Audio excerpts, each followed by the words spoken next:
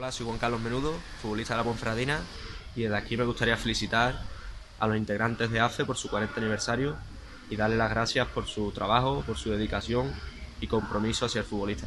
Un abrazo.